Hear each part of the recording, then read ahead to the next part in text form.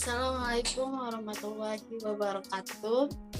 Honorable Miss Nadia uh, Nadia Prista MPD MPDE Honorable uh, audience and all my loving viewers. And here I want to explain about looking for signs. Why we must looking for science Because science is very important for our life. With science, we can be uh, we can be leader of all creators in this world.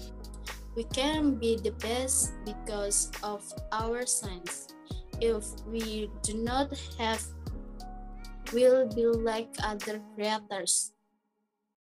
We will be foolish men and we do not know anything. So we will worse than the creators is like my said above.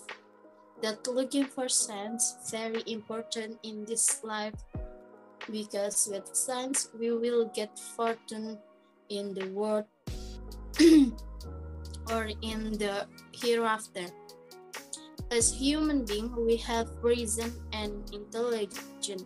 With this reason, we can uh, we can uh, look for signs that will make us different from animal. That's all for time being. It is hope that you understood my speech.